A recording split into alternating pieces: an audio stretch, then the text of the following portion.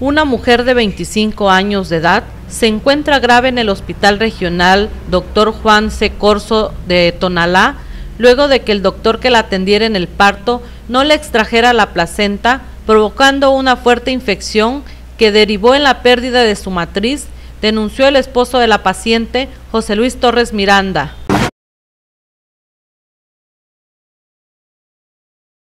Mi esposa se alivió el día 13 de junio. Eh, fue cesárea y, y, de antemano ahí empezaron ya los malos tratos en el aspecto de que este, indicaban ultrasonidos que le tocaba aliviarse. Y el doctor Trinidad, tanto como el director, pues le dan de alta. Cuando se presenta ya la hemorragia, todo, todo lo del parto, este, pues resulta que nace mi niña. Para eso la internamos a las 3 de la tarde, 3 de la mañana, perdón.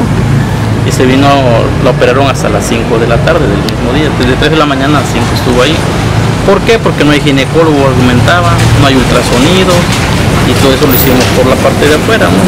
Bueno, eh, resulta que el día domingo mi esposa le llamo los cuidados adecuados. El día domingo mi esposa se, se le viene un derrame de sangre, parte vaginal, muy fuerte. Tan fuerte que está que eh, los ultrasonidos que tengo por parte del doctor Luis Enrique Parada y todo por la parte de afuera, argumenta pues que son restos de placenta que quedaron. Que eso ocasionó una gran infección que ayer a mi esposa le hicieron este la rasparon, le hicieron el, el legrado para sacar la, la, las partes. Eh, pues no quedó ahí el detalle. Esto fue como a las 11 de la mañana, a las 5 de la tarde, a la, como a las 6 de la tarde me argumentan de que, que estaba mal, que seguía mal. Y pues resulta que le quitaron ya la matriz. Pero sí, mi esposa pues está delicada, ahorita está en terapia, no le baja la temperatura, acabo de entrar y pues sigue con la presión gracias a Dios a la doctora este se me fue el nombre ahorita permítame este dado muy buenas atenciones y gracias a ella creo que mi esposa pues ah no ellos argumentan que que ella se había ligado. Antemano el argumento es que, que fue mejor, que ya la mujer quitándole la matriz pues ya no tiene problema de cáncer, todo eso, pero no es el caso pues. O sea que por una, yo siento que es negligencia o cómo se llama la palabra, ellos dicen que no, ellos pues me imagino que se están cubriendo entre ellos porque dicen que no, que no es negligencia, que porque eh, los estudios se fueron a Tuxtla, que los está pagando el, mismo director, que al principio pues se puso un plan pues no obvio pues defendiendo a la autoridad, pero ahorita él al ver la situación que se agravó, se agravó, se fue agravando, pues él quedó de que él me está apoyando en la sangre, le está pagando todos los gastos estando encamado, llega el doctor Trinidad y todavía le alza la voz a mi esposa.